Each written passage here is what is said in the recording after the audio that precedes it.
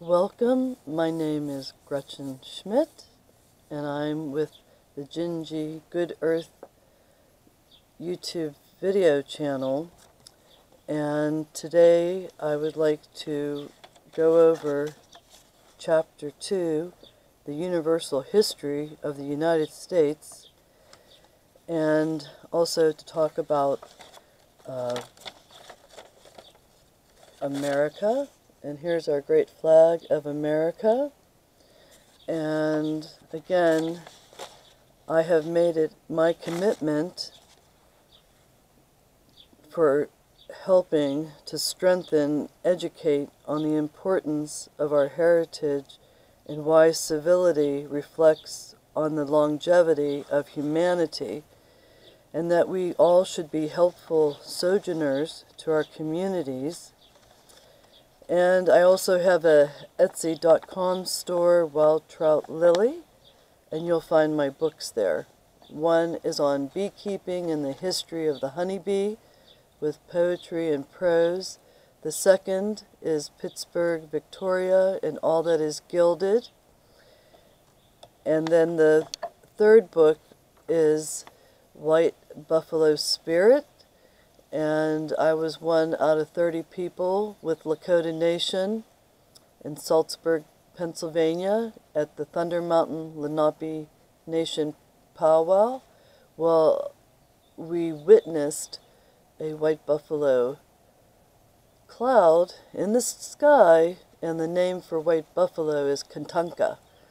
And that was a miracle. But I'd like to further reflect that I'm here to educate, amuse, and enrich, and that nice matters. And we want to have this fun filled and artistic. And history is a reflection of our past, and it has to tell the truth. We will learn from our past, so for our civility's sake, we should always read, seek, and find truth historical facts, not random rumors. And today also we'll address different topics and suggestions, but please uh, review the YouTube channel You Are Free TV. They had a program on bio, digital, social programming, and I thought that discussion really has an expertise of excellence of information, and I highly recommend that you read that. Now, I have my video uh, on the front porch today. I'm trying um, new ways to read the book because, again, it's difficult to listen to an individual read line verbatim um, from a book, and I thought would be quite entertaining. I put out the bird, seed, the nuts, and the fruits uh, for the uh, chickmunk, and I have named the chickmunk Chippy Chickmunk. He comes out every year. And also for the red cardinals and the robin redbreast, I have four eggs in the nest in the backyard. And also for any other birds that are welcome to come this morning. Uh, today is May 20th, 2020. So it's a it's a relevant day. When do you have the the day of the month the same as the day of the year of 2020? But without further ado, I would like to go ahead and read. And I was going to play a CD, but it looks like the power's out. But anyhow, we'll we'll go with this. So let me begin.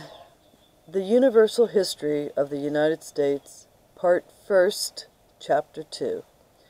From the settlement of Jamestown to the embarkation of the Plymouth Company, the discovery of America by Columbus gave a new impulse to that bold spirit of adventure which characterized the hardy age in which he lived. Although several men of rank and fortune were concerned in the companies which had been formed in England for colonizing America, Their funds appear to have been very limited, and their first efforts were extremely feeble.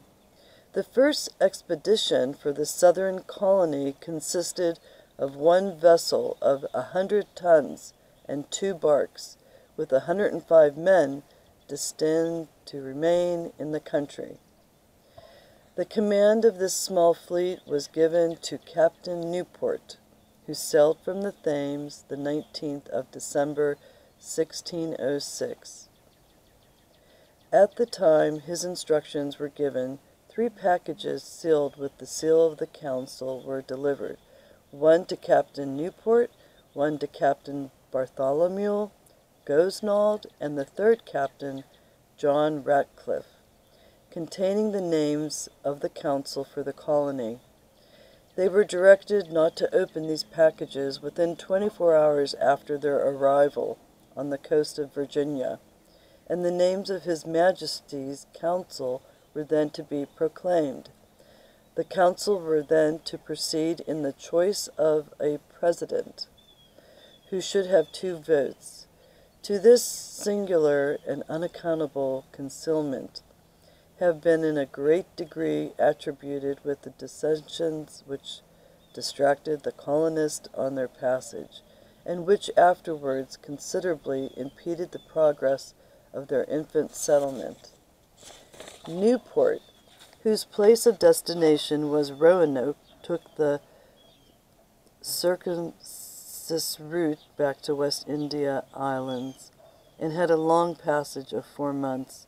The reckoning had been out for three days without perceiving land, and serious propositions were made for returning to England, and when were overtaken by a storm, which fortunately drove them to the mouth of the Chesapeake this book was written in 1830, and my copy of the book is 1888, and it's very browned, and it's leather bound. So I, I have to read through the molding of the papers in order to read this book. So this is a challenge. As we begin, on the 26th of April, 1607, they discerned Cape Henry, and soon after Cape Charles, impatient to land, a party of about thirty men went on shore at Cape Henry. But they were immediately attacked by the natives, who considered them as enemies, and in the skirmish which ensued, several were wounded on both sides. The first employment of the colonists was to explore the adjacent country which the appearance of which they were greatly delighted, and to select a spot on which their settlement should be made. They proceeded up a large beautiful river called by the natives Powhatan, and to which they gave the name of James on a peninsula, on the north side of which they immediately agreed to make the first establishment of their colony. This place, as well as the river, they named after their king and called it Jamestown. There they debarked on the 13th of May, and the sealed packets being opened, Mr. Wingfield was, by the council, elected their president. But under frivolous and unjustifiable pretexts, they excluded Smith from taking his seat among them. John Smith whose, whose courage and talents seem to have excited their envy.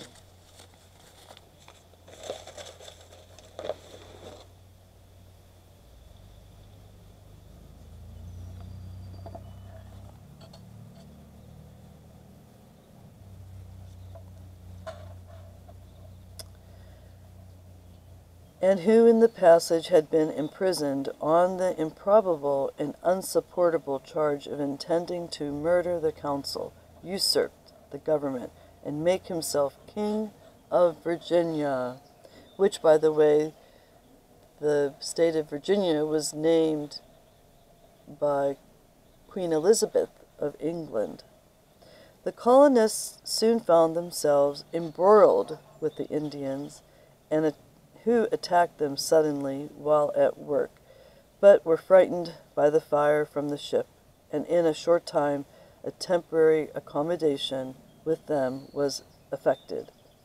Although Newport was named of the council, he was ordered to return with a vessel to England, and the time of the, his departure approached. The accusers of Smith, affecting a degree of humanity which they did not fill, proposed that he should return with Newport. Instead of being prosecuted in Virginia, but with the pride of conscious innocence, he demanded his trial, and being purportedly acquitted, took his seat in the council. About the 15th of June, Newport sailed for England, leaving behind him one bark and about a hundred persons, the only English then on the continent of America. Well, who could tell me what one bark means and then email me at gibsongirls at mail.com.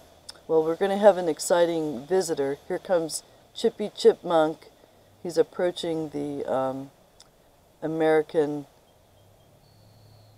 duck, the mallard duck. Here he comes. You can watch on the video. It's exciting. Thus, about 110 years after this continent had been discovered by Cabot, and 22 years after a colony had been conducted to Roanoke by Sir Richard Grenville, the English possessions in America, designed soon to become a mighty empire, were limited to a peninsula to be, uh, of a few thousand acres of land held by a small body of men, who with difficulty maintained themselves against the paltry tribes which surrounded them, and looked in a great measure to the other side of the Atlantic for the bread on which they were to subsist. The stock of the provisions for the colony had been very improvidential laid in. It was entirely inadequate to their wants and in addition to this original error, it had sustained great damage in the holds of the vessels during their long passage. So, in the holds of the vessels, that's the bottom of the ship, the storage area, and that's where boxes were labeled S period, H period, I period, T period. Who can tell me what those letterings mean and email me at gibsongirls at mail.com. On the departure of Newport, during whose stay they managed to partake of the superfluity of the sailors, they were reduced to the necessity of subsisting on the distributions from the public stores. These were, at the same time, scanty and unwholesome. They did not amount to more per man than a pint of warm, eaten wheat and barley boiled in a common kettle. This wretched food increased the malignity of the diseases generated by a hot and, at that time, the country being entirely uncleaned and undrained, a damp climate among men exposed from their situation to all the, its rigors. Before the month of September, fifty of the company, and among them Bartholomew Gosnold, and who originated the expedition and so much contributed toward its being carried on, were buried. This scene of distress was heightened by eternal dissension. The president was charged with having embezzled the best stores of the colony and of feasting at his private table with beef and bread, then deemed luxuries of the highest order, while famine and death devoured his fellow adventurers. No crime, in the public opinion, could have been more atrocious. In addition to this, he was detected in attempt to escape from them, their calamities, in the bark which had been left by Newport. The general indignation could no longer be restrained. He was deposed, and Ratcliffe chosen to succeed him. Misfortune is not unfrequently the parent of modern nation. and reflection, and this state of misery produced a system of con- conduct towards the neighboring Indians, which for the moment disarmed their resentment and induced them to bring in such supplies as the country at that season afforded, and thereby preserved the remnant of the colony.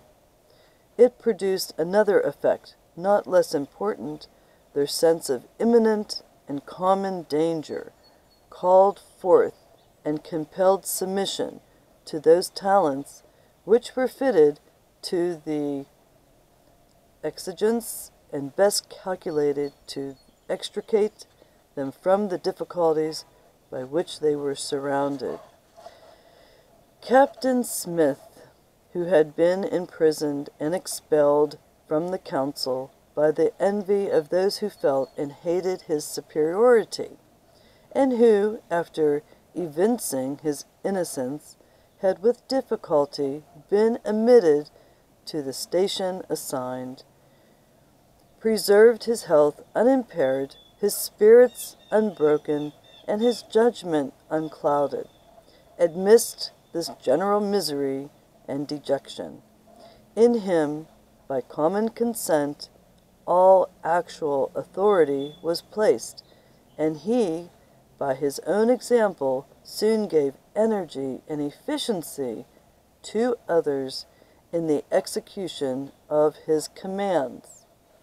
He immediately erected at Jamestown such rude fortifications as were necessary to resist the sudden attack of the savages and with great labor, in which he always took the lead, completed the construction of such dwellings as could shelter the people from the weather, contributed to restore and preserve their health, while his accommodation gave place to others in the season of gathering corn, which with the Indians is the season of plenty.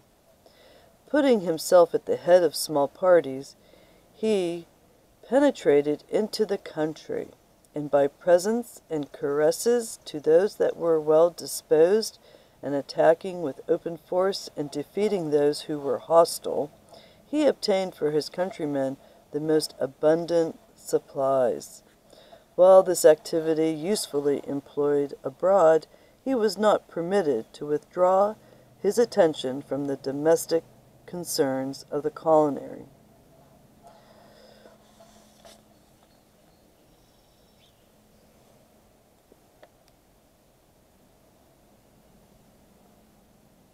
And here's the settlement of Jamestown.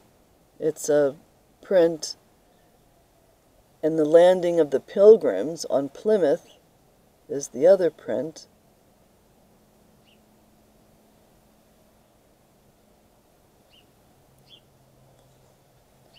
However unfit men be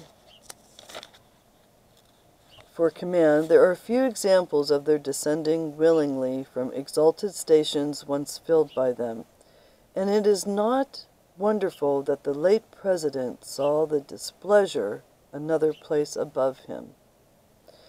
As unworthy minds most readily devise unworthy means, he sought, by intriguing with the factious and fermenting their discontents, to regain his lost authority.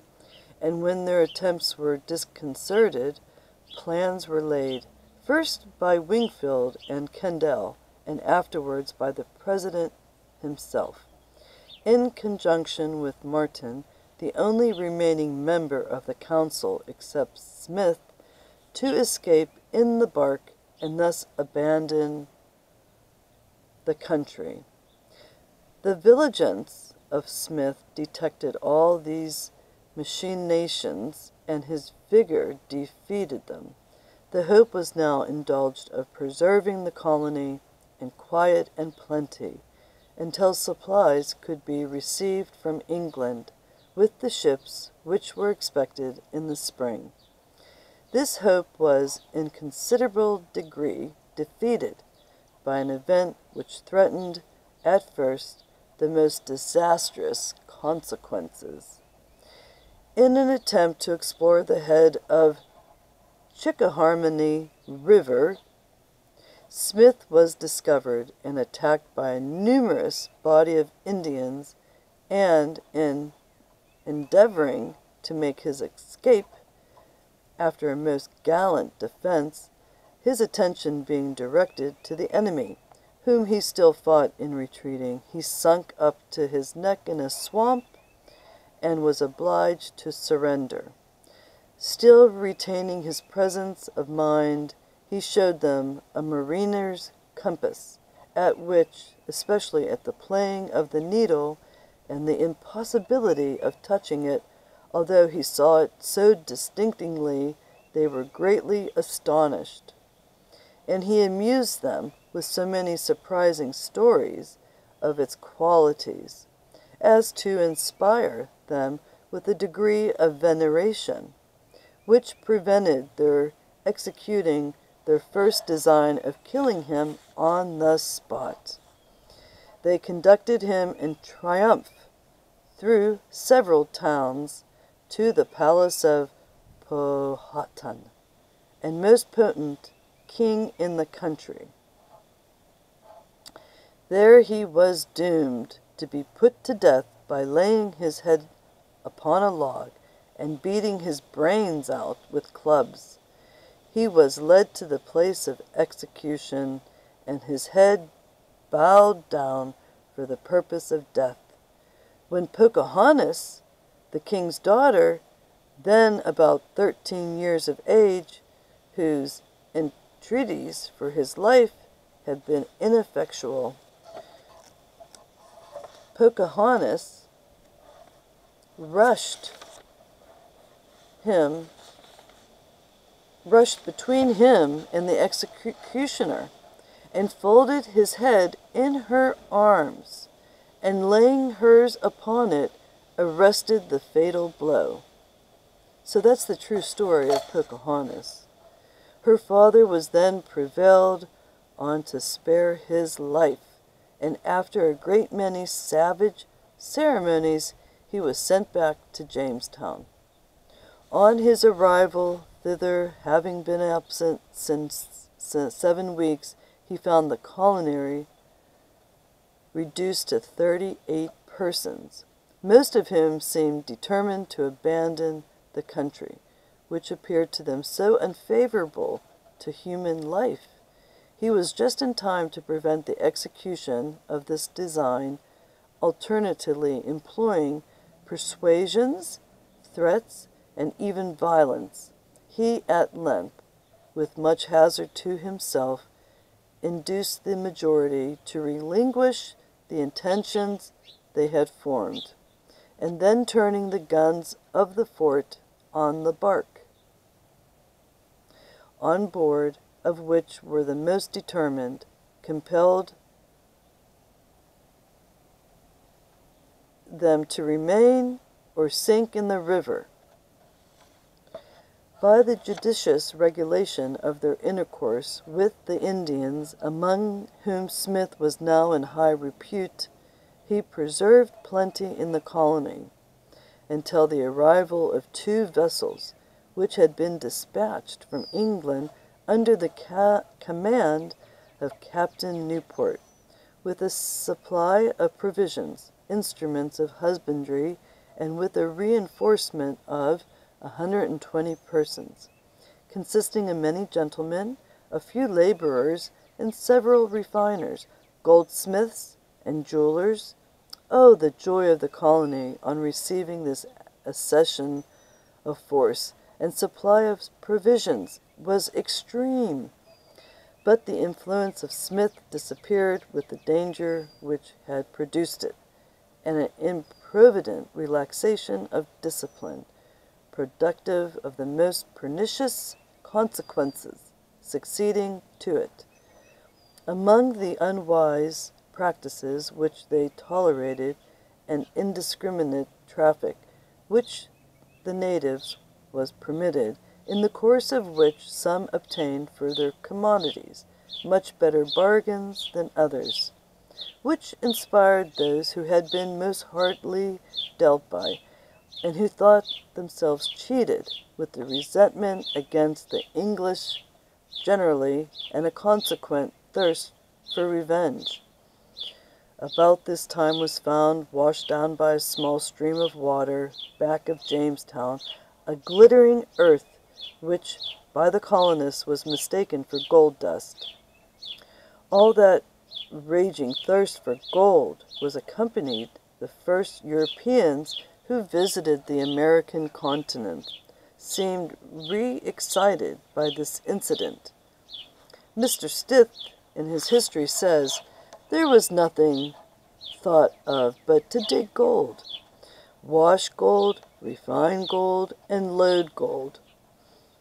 and notwithstanding Captain Smith's warm and judicious representations, how absurd it was to neglect all the other things of immediate use and necessity, to load such a drunken ship with gilded dust, yet was he overruled, and her returns were made with a parcel of glittering dirt, which is to be found in various parts of the country, and which they very sanguinely concluded to be gold dust.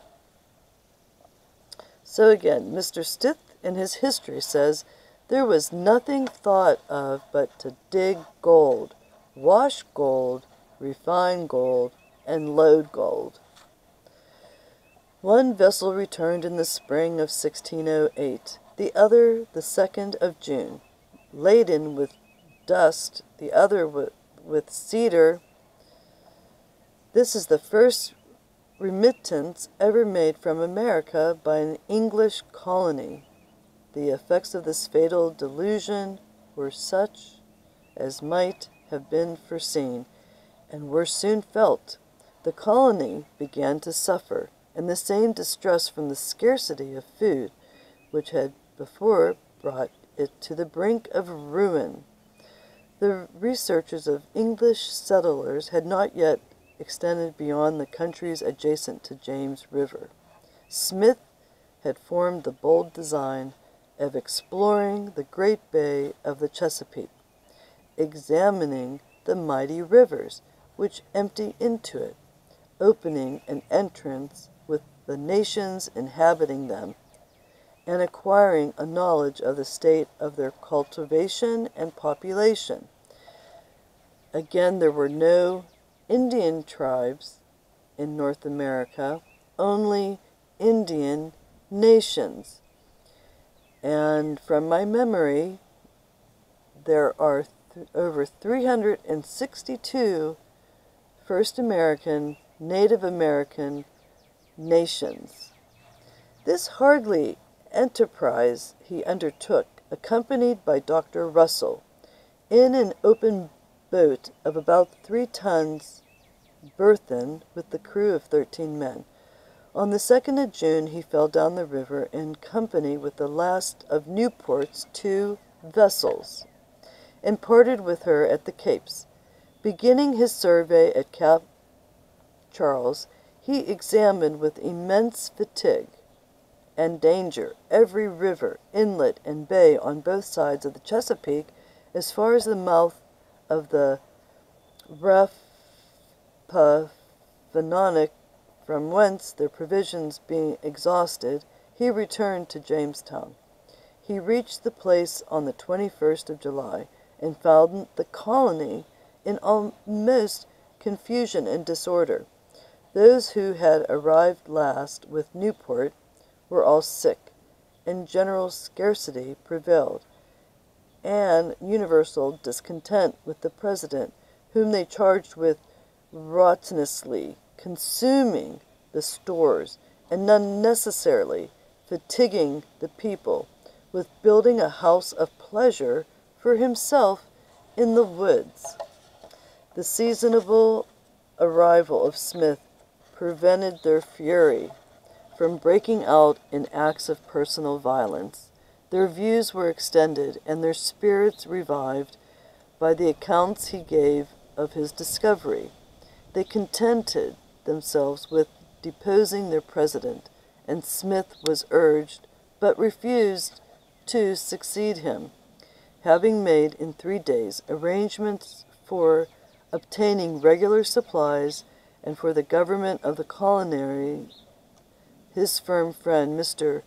Scrivener, was appointed vice president, and on the 14th of July he again set out with 12 men to complete his discoveries. From his voyage he returned on the 7th of September. He had adventured as far as the river Susquehanna, and the Susquehannocks lived there, the nation of first Americans, and visited all the countries on both sides of the river. He entered most of the large creeks and sailed up many of the great rivers to their falls.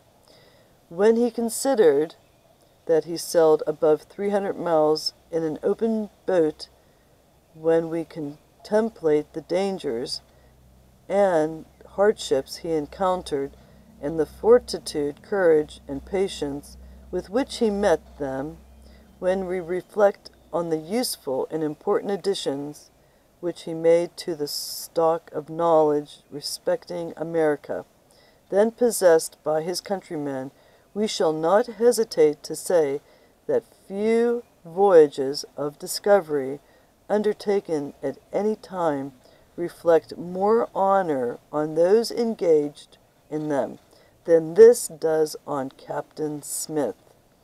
It may not be entirely unworthy of a remark that about the bottom of the bay, Smith went with a party of Indians from the St. Lawrence River coming to war with those at the neighborhood, and that he found among the Indians on the Susquehanna hatchets obtained originally from the French in Canada.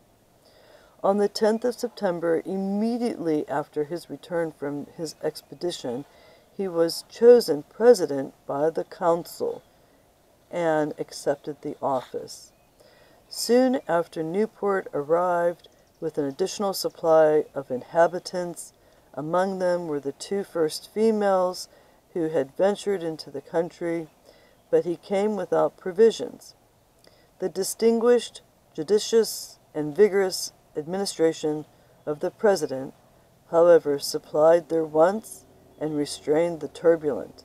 Encouraged by his example, coerced by his authority, a spirit of industry and subordination appeared to be created in the colony, which was the parent of plenty and peace. In the meantime, the company in England became excessively dissatisfied with their property of America.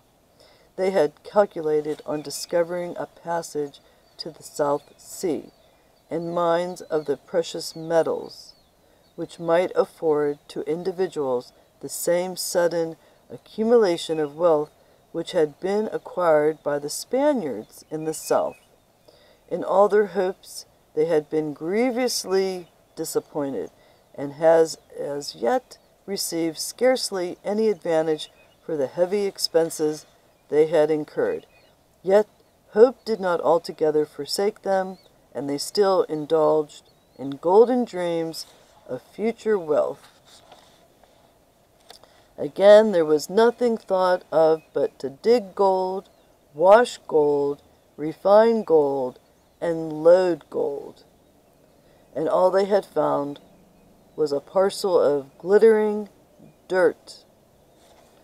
I'm going to stop there on page 21 and uh, follow up because I have a very inexpensive camera video camera. And I just want to end with a comment and some poetry. And again, I'm reading the Vikings. Uh, again,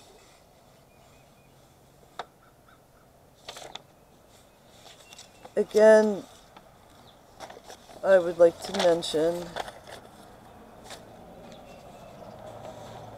if we sit very quietly. Yeah, I wanted to mention something. I was on the board of directors for 16 years at the Allegheny Kiskiminis Valley Museum, AK Valley Museum, and I um, programming and education for 16 years on the board of directors. And so that I have an exceptional history of the state of Pennsylvania and New York. And I have a, a article on the Braddock's defeat. But I wanted to mention the Meadowcroft Village, which is run by the Senator Heinz History Center. And again, that village at Meadowcroft, which I have been there many times, it's a worthwhile visit, is a early as 1000 before Christ. It's, it's a shelter built by the hunters and gatherers as early as 1000 BC, and it has prehistoric campsite that exhibits primitive huts, tools, and demonstrations. And it's very worth looking up on the internet. And I was very impressed when I went to see this shelter. It's basically against the mountainside and it's a rock shelter that was inhabited in 1000 BC. So I wanted to mention that. And I wanted to mention the book that I wrote, Honey for All. It not only does it talk about the honeybee story, it includes poetry, recipes, and honey beekeeper's history.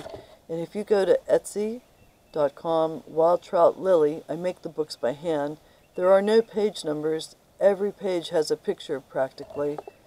And I have a lot of historical uh, pictures. And um, I will read a poem on environment. And let's see if I can find, let's just get it.